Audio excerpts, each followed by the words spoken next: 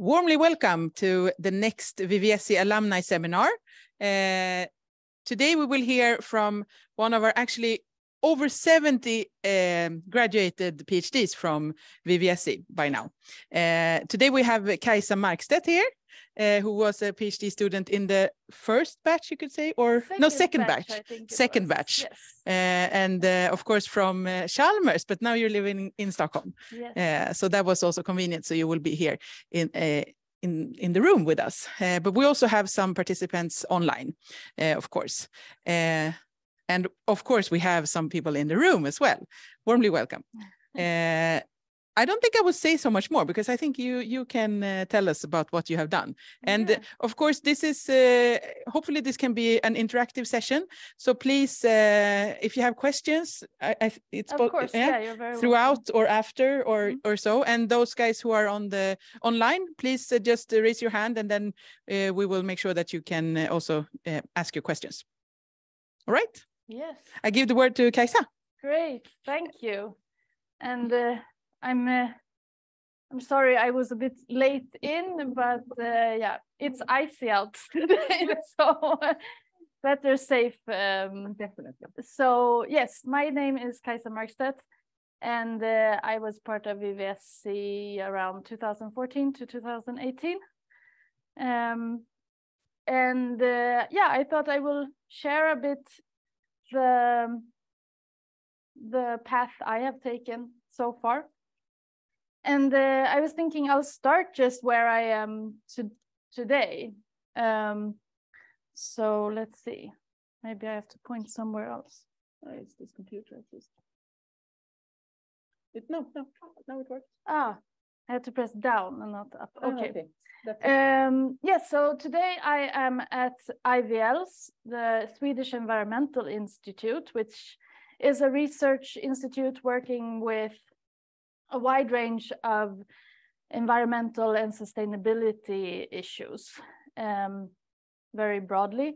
And there I have a role as research coordinator. So this is a kind of central role at the institute where I help out with and support with a lot of different questions connecting to the research done at IVL. So basically, I'm a support for the researchers there. And IVL works both um, with assignments for different companies, um, but also research projects. So it's kind of 50 50.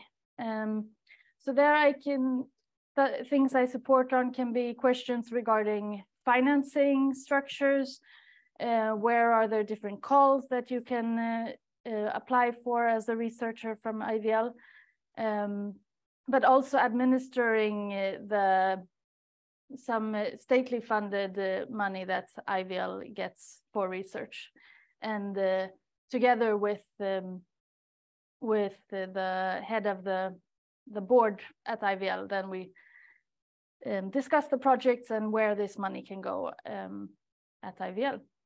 And uh, then also I participate in different networking activities. So for example, we have a partnership with KTH where I sit on, on that board and discuss how can we create um, more communication between IVL and KTH and create projects together or um, have researchers start working at the IVL or the other way around.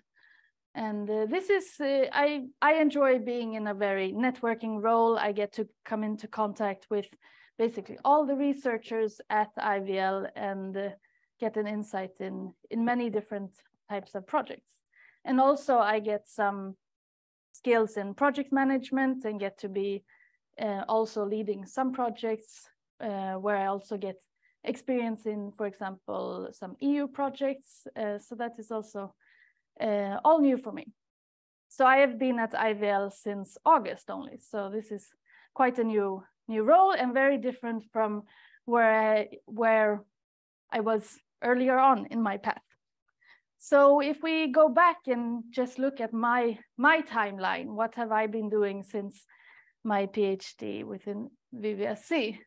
So I I think I will stand over here if you follow with the camera. Um, so I finished my PhD in June 2018 And after that, I started working as a product development engineer at Billerud, then called Billerud Korsnäs. And this was in Örebro. And uh, after a few years as working in the product development group, I there I got very much in contact with also closer to the production and the processing units and thought it would be interesting to to understand how you work even closer to the daily processing questions, daily questions in the factory. So then uh, I uh, was working for about a year as quality engineer. Um, but then I, I felt like, oh, I miss a bit the research community and uh, yeah, that, that life there. So I kind of also maybe, I don't know, these pandemic years and like you want something to happen in your life. Um, so then I found IVL and I hadn't known that much about them before. Um, it is a bit of a different field than the research, material research area where I came from, from previously working with wood materials. So um, this kind of popped up and I applied and then now I'm I'm here and I'm back in Stockholm. I'm originally from Stockholm, so um, my path has taken me from Stockholm to Gothenburg at, Chal at Chalmers and then to Örebro where I was working at Billerud and then now Stockholm just down the road. Um, yes, but uh, I thought I'd go dive into a bit more my roles at Billerud Korsnäs also uh, to give you the perspective of how was it working in the industry environment. And uh, yeah, feel free to break out with questions also. Oh yeah, I just wanted to add this slide because I'm thinking a lot of you are maybe in the WWSC um, doctoral school. And uh, I think this I have with me still. Um, the collaborative projects, the friends. I see Per here set, sitting in the room. We know each other. He's he should be in this picture. Yeah, at the back there. Um, also this network. So both when I've been at Billerud Korsnäs, but also now when I'm at IVL, these people from this network show up and pop up in different places. Uh, and then it's it's very nice seeing seeing each other again and being able to connect and also work together in different ways. And also just a bit, then if we look at where, where was I during the WWSC time? So I was working with a project on 3D printing wood tissue. So to summarize that very shortly, I worked on establishing a new technology platform for assembly of wood biopolymers, where I worked with control of design, composition, structure, and material properties. So I was working a lot with nanocellulose, alginates, and then connecting the material properties to this new 3D printing technology, which I think there weren't that many working with the 3D printers when I started, but now it's used in a lot of ways in prototyping and showing all the different possibilities with materials. And I took a lot of inspiration from how the wood is built up and the structure of the wood, um, understanding that and connecting it to new technology. And uh, that I kind of had with me in my thoughts, then working, going over to, to working in industry, where at Korsnäs is a paper packaging company. So still I had these application ideas in the 3D printing world. We were thinking about, oh, 3D packaging, what if we build up everything from 3D or like, can we, it, it was still this, how do we go from thinking of materials in a two-dimensional production way into a three-dimensional production way. But uh, then working in the in a big paper board factory, it became quite two by two dimensional again. Uh, so I basically changed from working with this small scale uh, machine, the 3D printer, um, to then working with the big scale, uh, the paperboard um, machine. And this I did also with a move from Gothenburg to Örebro. And I thought this was very, very exciting coming from have been working very focused on one project um, where you're very involved with your with your own projects and your own goals and uh, and then coming to this where the goals are kind of set outside of your control. And there are certain products uh, customer needs to connect to and understand. And also this thing of having a big machine to always take into account. Um, there is already a big infrastructure that um, cannot be changed in in one day. Um, but i learned i learned a lot and also just changing this scenery and the city was exciting. Uh, i don't know how many of you have been to Örebro or maybe you've had the chance to do a site visit to Frövi.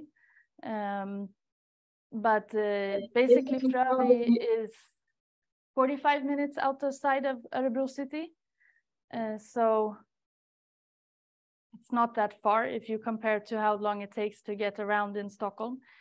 Um, and I enjoyed Örebro a lot. It was a very nice city to, to live in and uh, you can really have the city life and then you work out in the countryside. Um, and then coming to industry, um, that's, that transfer was not, I didn't experience it as uh, so difficult. I really took on the challenge and I was excited to see a different type of organization, a different type of environment. Uh, and uh, at the same time, it had a connection to my PhD. I quickly got involved in a project where they were starting to implement um, a type of MFC, you can say, microfibrillated cellulose, but on the industry scale. So not in the way that we work with nanocelluloses, um, nanocellulose materials here in uh, in the lab, but a more finer finer pulp. And that i got to be involved in how to introduce that into the process. And uh, it was nice being able to come then with my my knowledge from knowing a lot about these type of materials and uh, then thinking a bit extra where when we then analyze the results of using it in different areas of the board what does that mean? What are we seeing?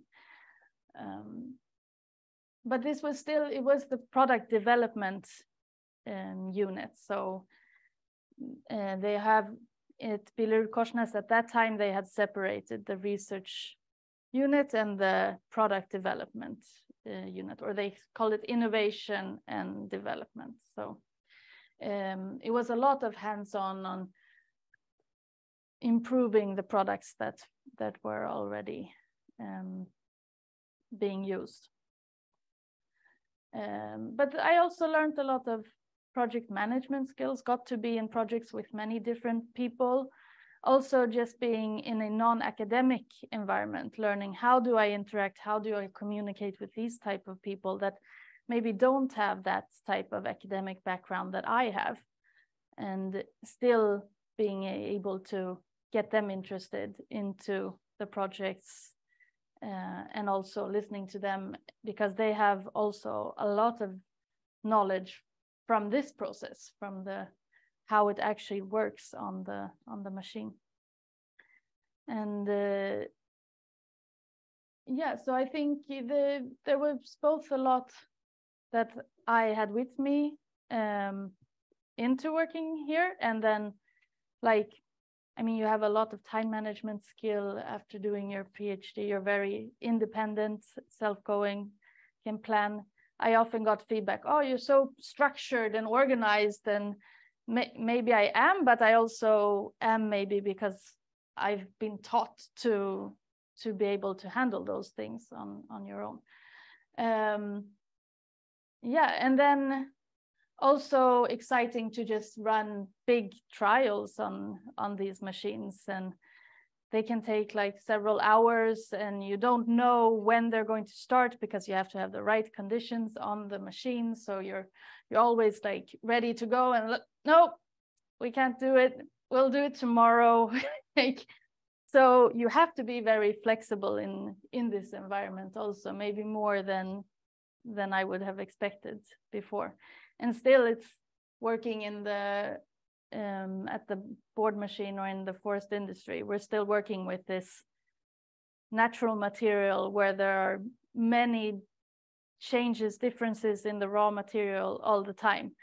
Um, that control isn't, there's certain control of the material, but depending on which wood comes into the factory, then the process has to adapt all the time. And um, that was also very exciting and also difficult to handle. uh,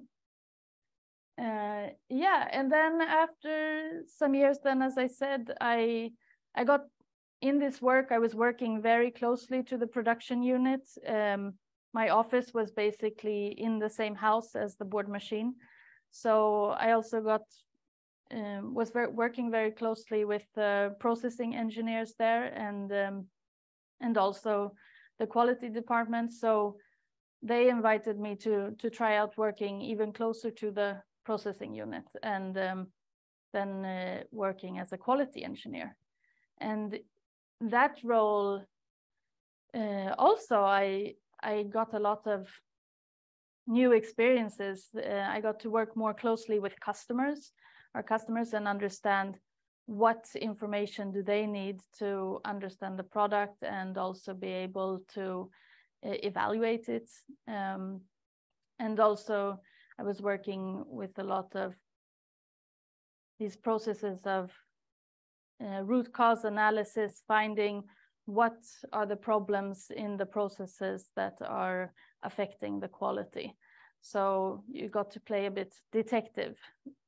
Um, turned up spots on the cardboard and then, okay, what is this coming from?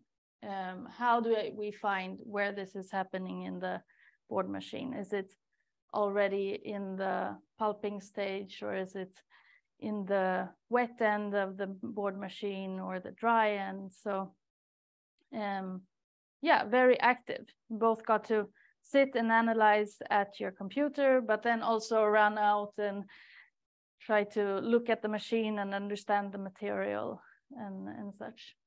And also working in the industry, that also reminds me of how, I, how I came in here and said, yeah, it was quite icy and safety first. Um, working in this environment, you, you really learn that way of thinking um, because uh, there are a lot of, unfortunately, there are still accidents that happen. And when they happen, they can be quite severe. So, and I, yeah, that's a good, good thinking to have in your, um, in the back of your head that I didn't either think about that I would learn those type of uh, ways of thinking.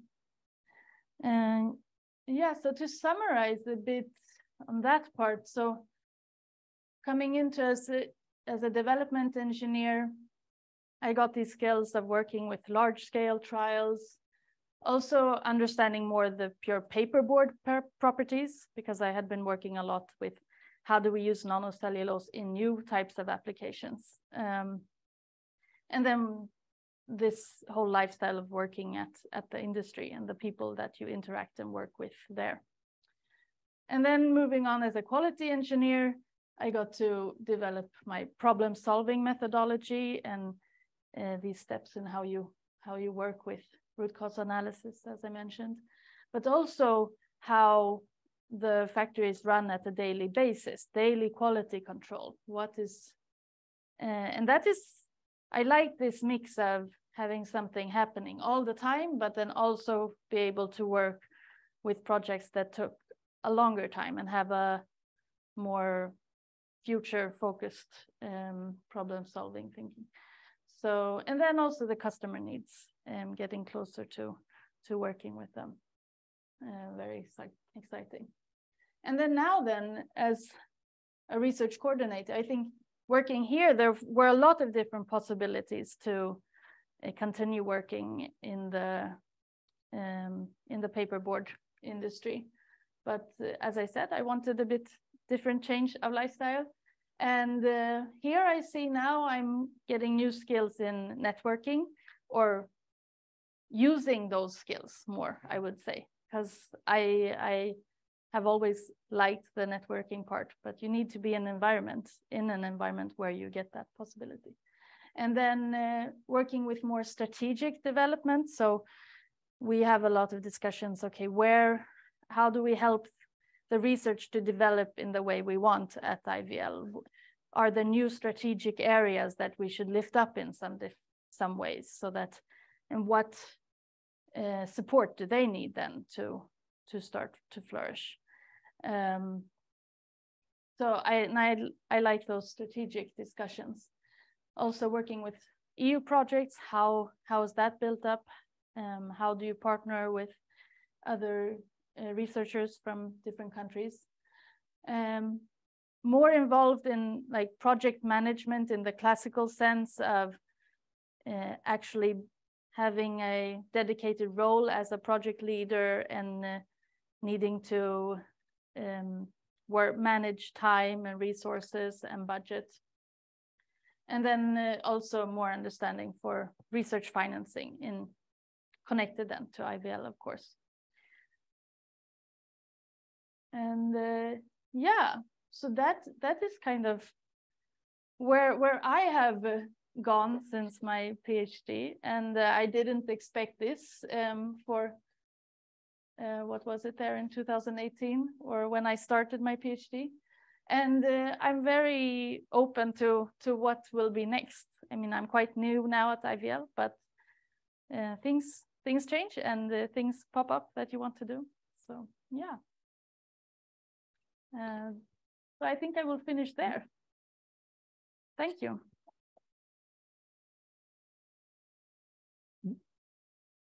Thank you very much. Do we have uh, questions in the room? I don't see any questions online. Somebody has a question? Yes. Hey, Monica. Hey, Kajsa, nice to meet you again. yes. Oh, very interesting to see how your career after your defense has been. Very exciting. Uh, how was it to be a PhD in in WWSC? You have learned a lot about these more soft skills after. Were there some courses already in WWSC at that time? Um, yeah, or we had soft skills, I think were part of more the Chalmers PhD program. Mm. Um, there they had quite a lot of, there were like different project management courses you had to take, or teaching is also a soft skill that's mm. included. And... Another question is, how is it to come as a PhD to industry and be out in the production? Yeah, it's I don't think there are so many, or how was it at uh, Frövi? There are not so many, and many people in the production also have they're processing engineers, but not from an academic background. They have worked there a long time and know that's that system there.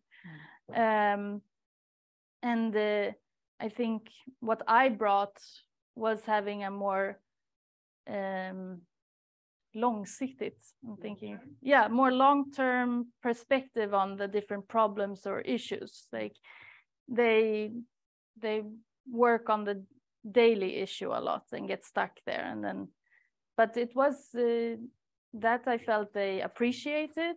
Um, but then. Uh, then uh, this thing of that there aren't that many with a PhD background. So uh, in the research and development units there are, mm. and there it was more, yeah, a similar background as me or closer. Um, and I also had the opportunity to be involved in some. They had like different competence areas where they met and discussed, for example, um, modification of celluloses or modifi yeah, chemical modification. Um, I also got to um, to to be a representative of the company when we had meetings with other research uh, collaborators sometimes. Um, so I thought they took use in a way of it, but also at a day-to-day basis, it wasn't like something you discussed. It it didn't help like it didn't tell them anything by saying that you had a PhD. Mm. Um, it wasn't frowned upon. It I didn't feel that I got like, oh, you are a PhD. What are you saying? Um, which maybe like a comic could say, but um, I uh, but I felt maybe it's even if I even if I say I have been uh, working as a researcher, I have been um, done my doctoral studies. That they didn't uh, like it doesn't really. Um, yeah, it's like okay, but what does that mean? yeah. Oh, thank you, Kajsa but I, I felt I was very appreciated. Like mm. it's um, the the knowledge I, I mm-hmm. came in with, and that's yeah. That's great. Any other questions? Now I don't see. Do you see if there are any? Mm. So yeah. maybe I can ask you. So uh, following up on Monica's question. So I know that uh, quite many are thinking of going into the industry and i mean you were really in the production so you were mm-hmm. really in the forest products industry after your phd and i mean you you did your phd in in chalmers on a i mean it was more it was not so applied it was no. more a fundamental uh, project you could say uh, so um what sort of what what i mean could you have uh, prepared yourself in a good way? Or, okay let's say like this. What are the activities within WWSC or, or within your phd studies that was best for your continuation in the mm. industry so to say? Um, and what would you like to have more of? Yeah i think part of like now i chose to go into the industry that is anyway quite close to uh, WWSC or wood-based materials.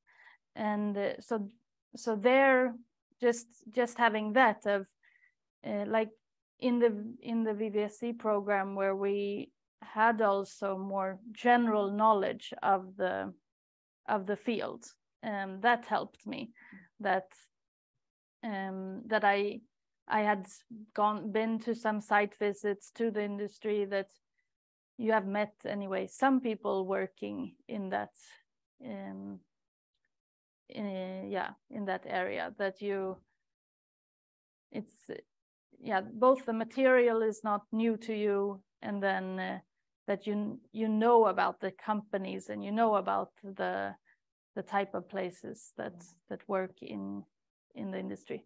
Um, if i would have gone to a different field of industry and it wouldn't have been connected to wood-based materials um, that would probably have been more difficult because then it would have been difficult to see what what am I using for knowledge from my PhD in this role here. Um, now I could very quickly get into discussions with people who had worked there a long time because I knew the material. Um, but uh, yeah, I think what I always what I maybe have would have wanted, I don't know specifically from the, maybe not from the WWSC program, maybe more from my engineering uh, studies. Uh, would have been nice with a longer, longer practical work mm. at some site. Mm. Um, I think my my first like experience actually working in an industry facility was when I started there in in 2018, and then I had been studying for 10 years um, site visits are, are very good, but you don't mm. you don't see the the day to day work. Yeah, exactly. Mm. Mm. Thank you. Any anyone else? yeah, I will come. uh, okay. Thank you very much, Kajsa. It's really great having you back in in uh, WWSC setting. Mm. Uh, it's it's uh, it's always nice to hear where you're going, and I hope you keep us updated on Yeah, your continuation. absolutely, yeah, absolutely. Thank you very very much. It was great having you here. Yes, and I will also say that uh, we will hopefully come back with the more WWSC alumni seminars soon, and uh, hopefully in this setting where you can participate at KTH or on Zoom as well. Thank you so much for today.